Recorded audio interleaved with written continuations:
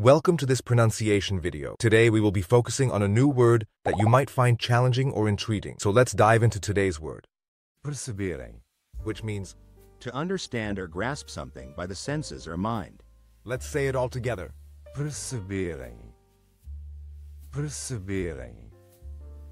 Perceberem. One more time. Perceberem. Perceberem. Perceberem.